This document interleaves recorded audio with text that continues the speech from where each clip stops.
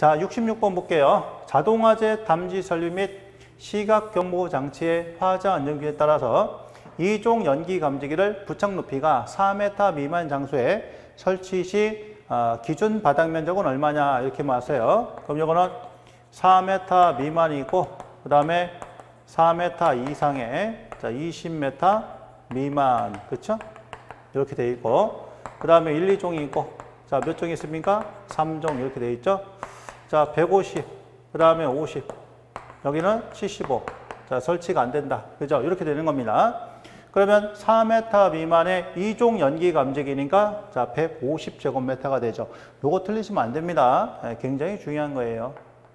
4m 이상일 때는 절반, 75제곱미터 이렇게 되겠습니다. 자, 67번. 요게 이제 그 실무용 문제인데 처음 나왔죠.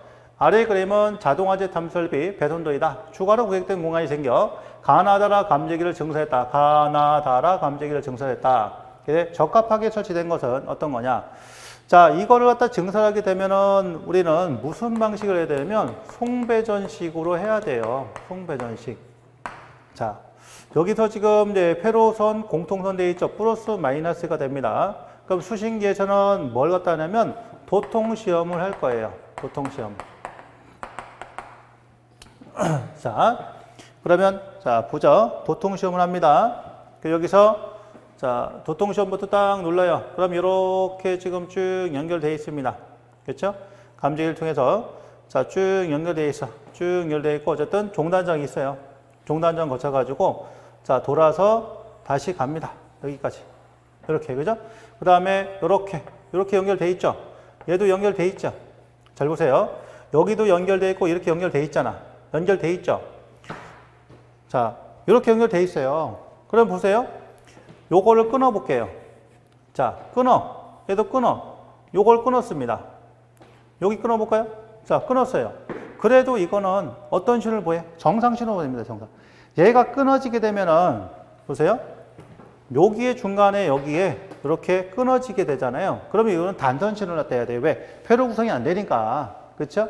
단선을 갖다 보내야 되는데 지금 이 부분을 이 부분을 이 부분을 끊어도 단선 신호를 보내지 않고 정상 신호를 보냅니다. 아, 이거 정상이구나. 이렇게 되는 거예요. 자. 근데 이 나번 부분이 있잖아요. 자, 여기를 끊습니다. 여기가 끊어졌어요, 여기가.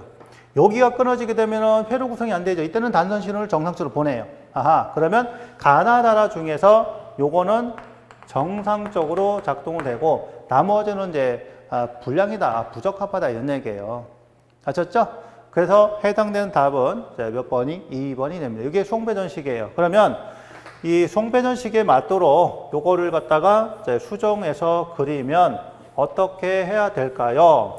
수정을 갖다게 되면 자 바로 여기서 요 감지기를 이렇게 거쳐서 가야 되겠죠? 이렇게 이렇게 그렇죠? 그 다음에 여기 연결하고 자 이렇게 연결하고요. 그 다음에 여기를 끊습니다. 맞습니까? 그 다음에 이렇게 이렇게 연결하고 여기를 끊어야 돼요. 자 이래야 아, 정상적인 선로가 연결이 됩니다. 이게 송배전식이다. 아셨죠? 이렇게 보시면 되겠어요. 회로가.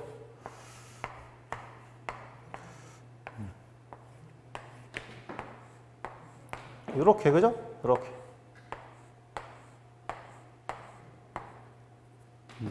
여기도 끊고요.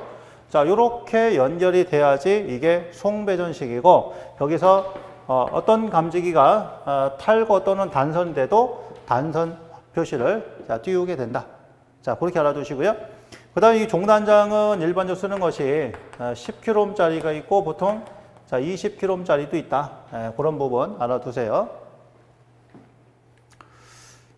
자, 그 다음에 68번 봅니다. 자, 비상 방송 설비 관련해 가지고 이것도 이제 새로 나온 건데 어, 그래도 우리가 알고 있는 내용이에요. 설치 기준 중 가루에 들어갈 내용 옳은 것은 층수가 몇 층 이상으로서 연면적이 얼마를 초과하는 대상물의 1층에서 발화될 때는 발화층, 그 직상층, 지하층에 경보를 한다. 자, 이게 무슨 경보 방식? 우선 경보 방식.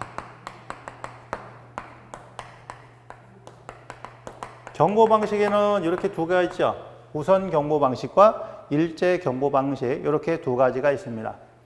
이 두 가지가 있는데 자 우선 경보 방식은 층수가 5층 이상의 연면적이 연면적이 3천 제곱미터를 초과하는 대상물이에요. 자 우선 경보인데 그러면 어, 발하층 그 다음에 경보층 자 보면 여기가 2층 이상. 1층 지하층. 자 이렇게 됐을 때 자 2층 이상은 이제 뭐냐면 아, 발하층하고요. 이제 그 직상층이야. 그다음 1층은 발하층 그 직상층에다가 지하층. 그 다음에 지하층은요 지하층은 발하층 그 직상층 자 플러스 기타 지하층 자, 이런 식으로 어, 해석이 됩니다. 이런 식으로. 그래서 이런 부분도 좀 알아주셔야 되겠죠. 그러니까 뭐 단순하게 2층에서 불났다 그러면 2층, 3층 되는 거고 1층이다 그러면 1층에 2층에 3층 그죠? 그리고 어, 그 다음에 이제 아이고 자 1층하고 2층하고요. 그 다음에 지하층 지하층 모두 어, 그 다음에 지하층에 불났다 그러면 지하층 모두 이렇게 이해를 하시면 돼요. 이렇게. 자, 따라서 5층에 3천이니까 답은 이제 3번이 되겠죠.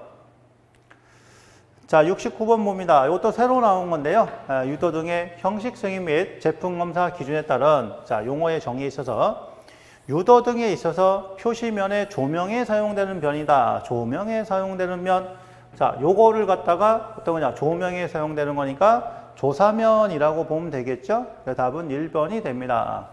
그렇잖아요. 따서 조명에 사용되는 면, 조사면. 쉽죠? 어. 자, 70번.